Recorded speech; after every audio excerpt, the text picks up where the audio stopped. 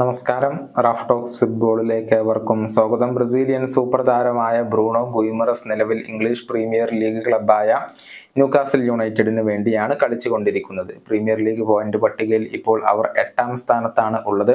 അതായത് അടുത്ത സീസണിലെ യു എഫ ചാമ്പ്യൻസ് ലീഗിലേക്കുള്ള യോഗ്യത അവർക്ക് ഇനി ലഭിക്കാൻ സാധ്യതകൾ വളരെ കുറവാണ്.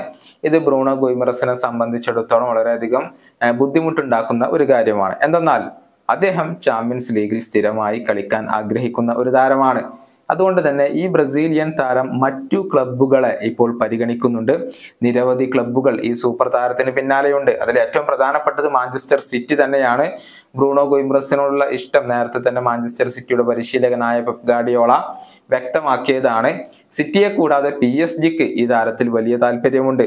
മാത്രമല്ല മാഞ്ചസ്റ്റർ യുണൈറ്റഡ് ആഴ്സണൽ എന്നിവരും ഈ താരത്തെ നോട്ടമിട്ടിട്ടുണ്ട് പ്രമുഖ മാധ്യമമായ ഇ എസ് പി എൻ ആണ് ഇക്കാര്യം റിപ്പോർട്ട് ചെയ്തിട്ടുള്ളത്.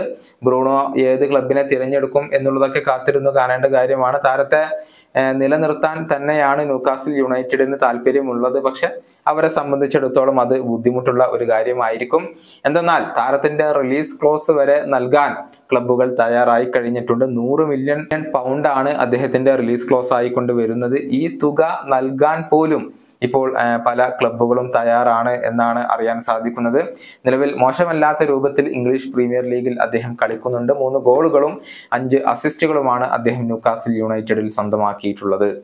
ഈ വീഡിയോയുടെ അവസാനിപ്പിക്കുന്നു. കാണാം.